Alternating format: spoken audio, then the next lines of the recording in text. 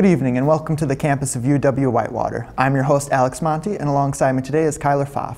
We ask you to please excuse our momentary interruption of sports from your regular daily schedule. Today we will be discussing everything to do with the NBA playoffs. Let's get right into it.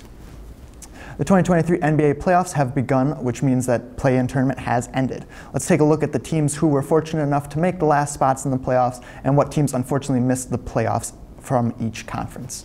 Yeah, so some notable teams that uh, missed the playoffs would definitely be the Dallas Mavericks. Um, Dallas, obviously, you know, the news broke out where they were fined $750,000 for uh, tampering the last game against the Bulls.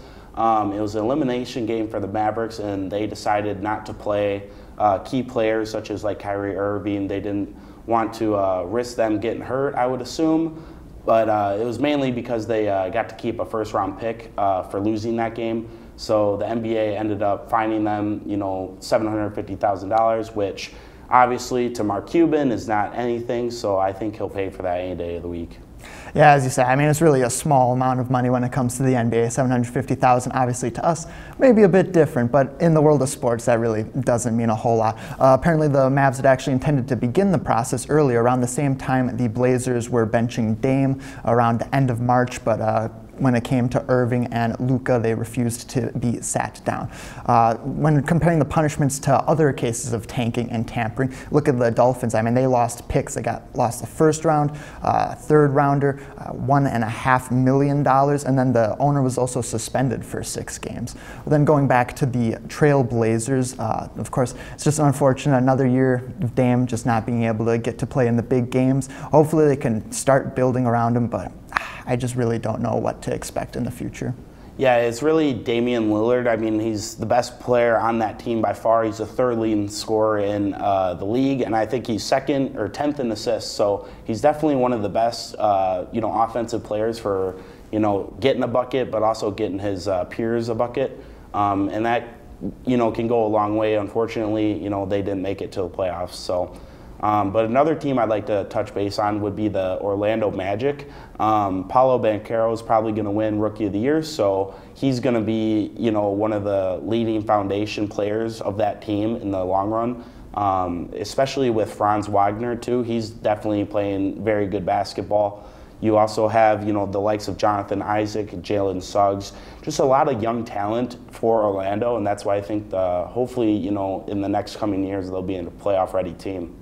Yeah, no, it's, it's a lot of young talent. It's just going to take some time to develop, you know, get the pieces together and just, you know, really get that experience that'll really send them over the top. Obviously, Paolo Banchero being, you know, likely rookie of the year is just a very exciting thing to have to look forward to in your future. Another thing or another team that missed the playoffs was the Jazz, which interestingly enough, despite trading away big key players such as uh, Gobert and uh, Mitchell, I, they still were able to get off to a hot start in the beginning of the year. They were leading the Western Conference early on, which was to shock to many people. But eventually, they did you know, fall back down to earth and reality, and it you know, simmered out. So who knows what will be in store for them next year? I mean, obviously they've got not pieces, but they have a organization that should be able to know what to do moving forward. Yeah, exactly.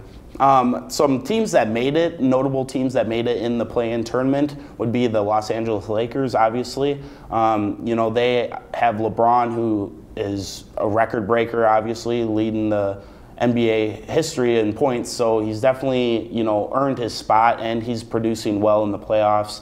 Um, seems like the only guy that can actually get her done for the team, other than you know Anthony Davis. He's just a dual threat. He's able to shot block. Um, in the first game, he had seven blocks, so he's definitely a defensive present presence as well as an offensive presence. Other teams that made it would be T Wolves, Hawks, Heat, uh, but missed would be Thunder, which is unfortunate because Shai Alexander, I mean, they really have something to look forward to in the future. But until then, next up we will discuss the playoff picture in the Western Conference. Stay tuned for more on UWW TV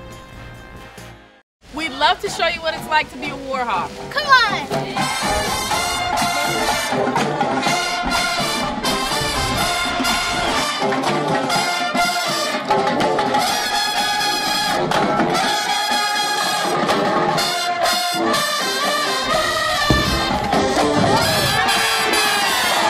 Don't miss out on your chance to be a warhawk at UW Whitewater.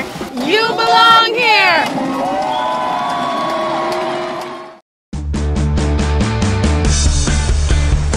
Know, for Hawk Talk, you know, I mean, especially on days I'm hosting, uh, you really need to be up early looking at those news stories, even the night before. I'm finding topics that I can incorporate in the show, and I feel like we get a conversation going. Once you get the opportunity to do that with other people who appreciate it the same level as you do, it makes it that much more enjoyable. For everything sports, tune in Monday through Thursday at 91.7 The Edge or watch us on UWW TV. The UW Whitewater Bookstore is your one stop shop for apparel, textbooks, and technology. Stop in for a wide selection of gifts from our alumni, family, and name brand sections. Need to purchase or rent a textbook? Head downstairs to Textbook Services. Check out our new custom shop and create personalized apparel for your organization. Need a charger, laptop, or headphones? Our new technology section has everything you might need. For more information and bookstore hours, visit uwwhitewaterbookstore.com. Here at UW Whitewater Intramural Sports, we have a motto a sport for everyone and everyone in a sport. Come on!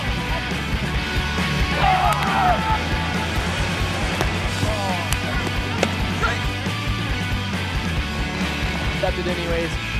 Oh, she got that off. They're gonna count it. Had a blast. Always have fun at intramurals. Every day we strive to go above and beyond that goal by providing healthy exercise, promoting leisure education, and giving students that competitive atmosphere they are looking for.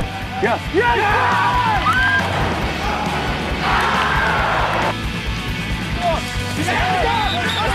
It's exciting. Brings me back to those uh, high school days with Friday Night Lights.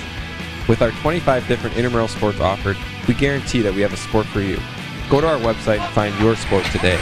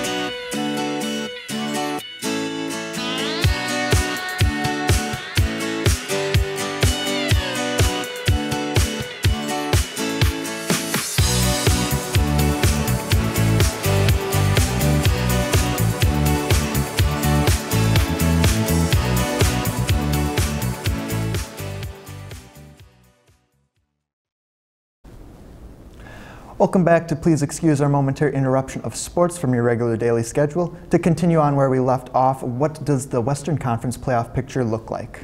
Yeah, so the first seed of the Western Conference is Denver Nuggets. Um, they go against the eighth seed Minnesota Timberwolves. Um, so some key things about that series is, uh, you know, obviously Nikola Jokic. Um, he's finally coming as of late, coming and scoring buckets for his team. Um, typically, he's the guy that likes to be the facilitator, and he's the person that you know gets all the assists and the rebounds. So he's a walking triple double.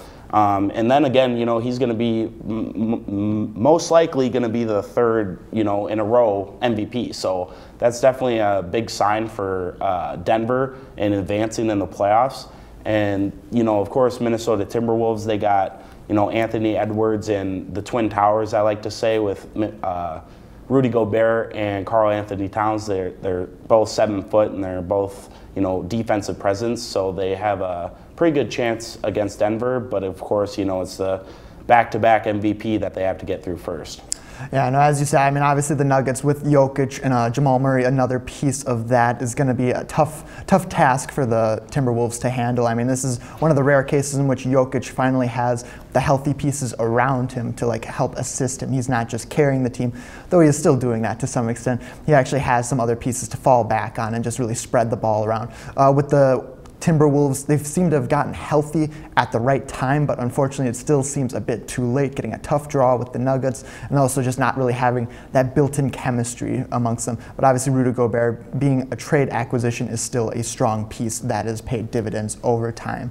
Uh, when it comes to the second seed, Memphis Grizzlies and the seventh seed Los Angeles Lakers, going to be a lot to look out for. Obviously, Ja Morant has had issues, to put it lightly, but I mean, he is still a star player with a lot of impact. But sometimes the team can do better without him. Just looking at last year, they had a winning record without him, but this year was more akin to a 500. So perhaps he's contributing more, becoming more or the team is more dependent upon him. But then you look at the Lakers, got LeBron, obviously, you can never count out the king, especially in the playoffs. This is like his time to shine. Also acquiring uh, D'Angelo Russell, and they still have Anthony Davis there as well. Yeah, some key things for uh, Memphis as well is that they are the second seed, so they're obviously ranked pretty high in the rankings. Um, but they also have, you know, Desmond Bane, who fills in very nicely for Ja Morant. Um, you know, unfortunately, Ja Morant just can't stay healthy, so it's going to be interesting to see how that pans out. But uh, Ja Morant's one of the best players in all basketball, so as soon as he's healthy, then the, the two seed will definitely look like the two seed. And Jaren Jackson on the defensive side is another key acquisition as well. Well, let's transition to the Eastern Conference. What does the playoff picture look like in the Eastern Conference this year? Yeah, so the first seed Milwaukee Bucks is going uh, goes against uh, eighth seed Miami Heat. You know, Miami Heat they were one last year, but obviously they tanked a lot this year. Um, that's uh, you know has to do with a little health problems. Now that Tyler Herro uh, broke his hand, he's not able to play, so that's going to be a big factor going down the road for Miami. Um, but then you look at the Milwaukee Bucks, and Giannis is you know also having problems uh, health-wise too. So um, you're looking for Khris Middleton. You're looking for that Bobby Portis type role player that, that will help you get that spark that you need as a team. And then you also have Jrue Holiday, who's having a fantastic year, um, doing it both offensively and defensively. Um, and this year he's scoring a lot more points as well with that too. And it seems like Milwaukee, they've really been able to deal with adversity and, you know, injuries throughout the season very well. Obviously, they have experience in the playoffs, coaching staff and the players alike. So they, this is no new place for them, really. So they know what to do. In regards to the Heat, obviously Jimmy Butler is still a great player, but I mean, this just isn't the same team that has been in the past. Back then, like everybody had the same goal, everybody was fighting, and it just seemed a bit more together and cohesive. But now it just seems a bit more disjointed, but they're still a gritty team that you really can't allow to keep late in games or in series. Uh, second seed Boston Celtics, I, I feel like they are just one of the most perfectly well-rounded teams in the league at the moment. I mean, they just have so few, if any, flaws. They're just going to be a tough team to knock out. They're going to be definitely making a deep run in this playoff. Obviously, the Atlanta Hawks is their opponent. They got the new coach Quin Snyder, and they still have Trae Young causing you know little issues here and there, but still a great player, especially to look out for in the playoffs. But unfortunately, I would see this being a sweep in favor of Boston. Yeah, and I also believe that um, Boston is just overpowered. They, they just have everybody that they need, and they have the best two guards, um, you know, small forward shooting guard duo in the league. Um, both are averaging over 25 points a game, which is hasn't been done since Kobe and Shaq days. So that just shows how much dominance they actually have. Um, they're one of the best, you know, duos in the league. So if that continues to work out for them in the playoffs, they're definitely going to, you know, make it far, and then hopefully they'll, you know, advance uh, in the finals. And then uh, the third seed Philadelphia 76ers will be facing the sixth seed Brooklyn Nets. Brooklyn Nets at this point, pure rebuild realistically. They've traded away all the big pieces, the Irvings, the Hardens, the Durants and such. So now it's just going to be more looking forward to the future of what they can do. Until then, they'll just coast into these playoffs and you know just see what happens. I imagine the Sixers are really just going to take care of business in this first round. Next, we will be giving our predictions on what teams will face each other in the NBA Finals. You're watching PMI Spheres here on UWW TV.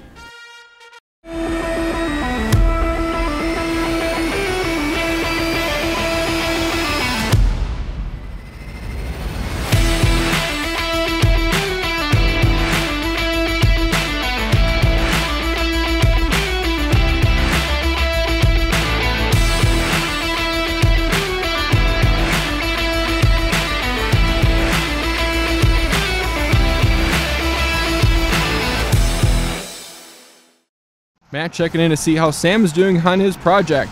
and it's getting close to exporting now, the final step in the process.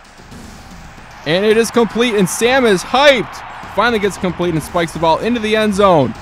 Sam's celebrating with his colleagues, and oh, they throw a flag on the play. The ref's to call excessive celebration. Sam is in disbelief and can't believe it. He tries to dispute the call, but the ref is not having any of it. Cru is a faith based organization for UW Whitewater students. Their mission? To create an inclusive Christian community for students looking to explore or grow their faiths. For me specifically, it's been amazing to just have people to walk alongside uh, with my Christian journey on. They always say to like go and experience new things while you're at college, and I think this is just another one of those things that you should experience. Cru welcomes all students and is held at Summers Auditorium on Tuesdays at 7:30 p.m. Come join our crew. The PB Poorman Pride Center is the place to go for LGBTQ plus resources, information, and community. Located in the Warhawk Connection Center, while there, you can meet people like Mia. And I serve Impact as president this fall, as well as working for the Pride Center. Impact is our queer LGBTQ plus and ally organization on campus.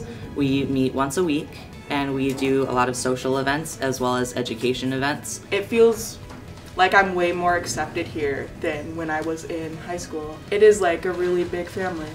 Along with acceptance, in the Pride Center you can find a little library, a clothing closet, and a satellite location of the Warhawk Food Pantry. It, it just feels like a home to me. You know, it feels like my home away from home. And there's such a community here that is so wonderful and full of joy. For more information, follow the Pride Center on Instagram at UWW underscore PRC.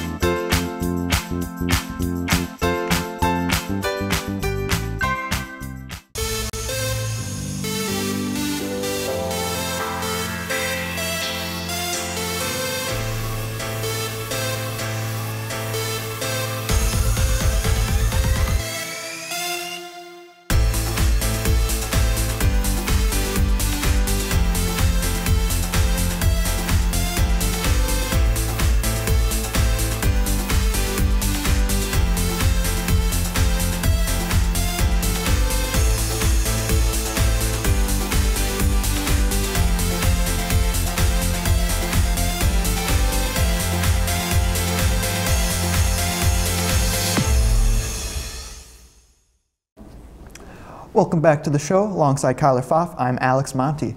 Now that we see what the playoff picture looks like from each conference, what teams from each conference have a chance to make the conference finals and potentially all the way to the NBA finals? Yeah, so for the Western side of things, I would definitely think the Suns, and then the winner of the Kings Warriors matchup. Um, you know that one is so crucial because you know it's very hard to win at either place you uh, you happen to play at. So um, for the Warriors, you know, they are statistically one of the best home teams in the NBA, and then same with Sacramento. So if you have that, those two powerhouses um, who can get a win automatically at home, they'll hopefully advance in the, you know, advance you to the Western Conference Finals. And then, you know, going on against the Suns, uh, you know, Kevin Durant with the addition of him, you know, he's really going to take things to a whole nother level with that group. Um, you also still have Devin Booker, who is one of the best, you know, offensive players in the game as well. And then, of course, Chris Paul, who's who's still chasing that uh, ring for him to retire and be known as one of the best of all time because you know Chris Paul has the stats, but he just doesn't have the ring, and that's what separates him from being the best point guard of all time. True. And when Chris Paul retires, at least we know he'll be safely insured with State Farm. Uh, for my personal beliefs, I feel like with the Suns, it's going to be tough with the lack of depth. I mean, they've got all the top talent, like best in the league. But after that, they just have nothing behind that. And I feel like they can do enough to get past the first round, but after that, that's where it really starts to wear down on a team. And I feel like that'll start to tear away. I feel like the Nuggets will be advancing to the conference final, and I believe that the Kings will be able to pull past the Golden State Warriors and then subsequently whoever wins in the Lakers Memphis series. Uh, and then I, I believe that the Nuggets would be the champions of the Western Conference.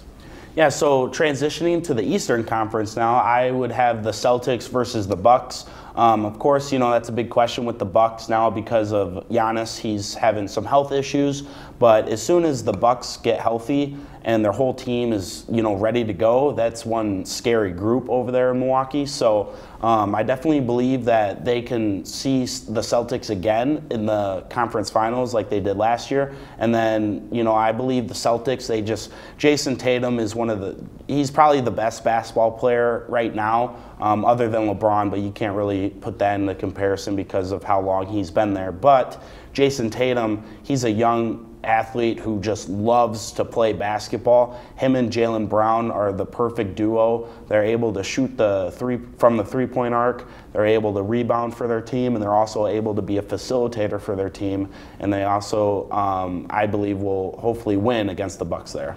And I believe the Celtics, obviously being like the best team realistically, would also make the conference final. But then I also believe that the Cavs could be able to pull up an off, off, off an upset against the Bucks. Uh, I believe that with Donovan Mitchell's key acquisition, and they have some bigs that might be able to thwart Giannis in the long haul. So I believe that the Celtics would top the Nuggets in six games in the finals.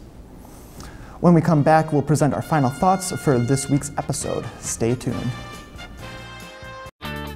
What does it mean to be a Warhawk? It means allowing myself to dream big and think outside the box. Pushing the limits of what I think is possible seeing ideas through from start to finish, collaborating with professors and peers, and seizing opportunities in the community to put my knowledge to use.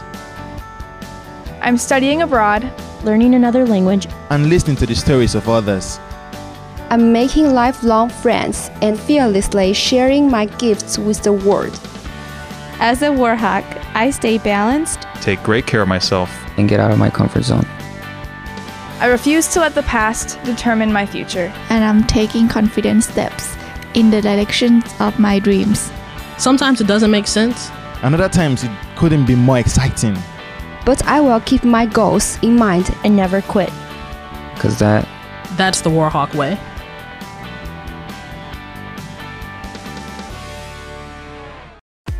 UWW-TV has been an important part of the campus and community since 1980. Not only providing on-air learning opportunities for broadcast journalists and electronic media production students, but educating and entertaining our audiences with award-winning news, live sports coverage, original programming, as well as dedicating a mission to developing creative collaborations throughout campus. For more information, visit our website and like us on Facebook. Check us out because you got to see what's on UWW-TV. Here at UWW, we put a lot of emphasis on shaping your involvement.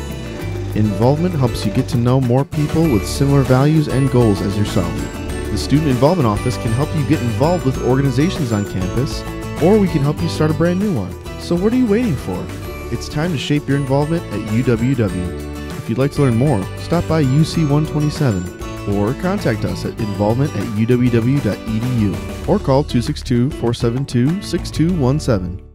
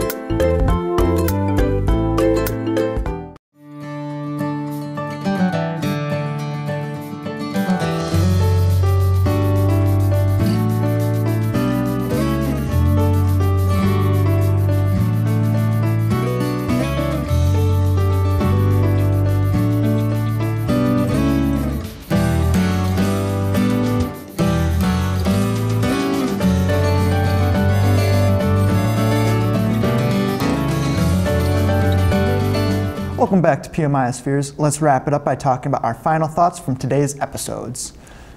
Yeah, so uh, I wanted to mention my finals predictions. So I have the Suns versus uh, the Celtics, and I believe the Celtics will win that game. Um, I believe it's time for Boston to finally raise that that trophy, um, like they used to do back in the day. Um, with Bill Russell days, and you know it's another thing too. Bill Russell just recently, you know, passed away during the season, so hopefully they dedicate, you know, the wins to Bill Russell, and that's why I believe that they'll have a chance to win the uh, championship.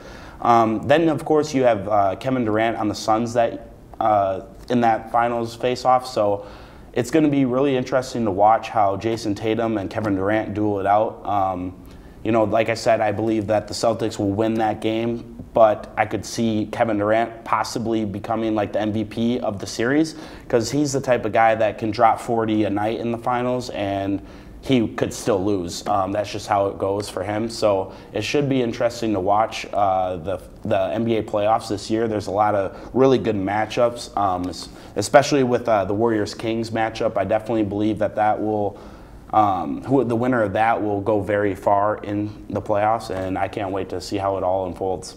Yeah, and it's really exciting. You mentioned the Kings. Uh, Sacramento has finally snapped their long playoff drought. It was the second longest when the Mariners was still active from 2001, but now theirs was the longest for, I believe, 16 years, and they finally snapped that. And now the next longest streak is in the NFL with the New York Jets for 10 years since the Sanchez. So that's very exciting. We'll see. Maybe history will repeat itself, and this next year another streak will be broken.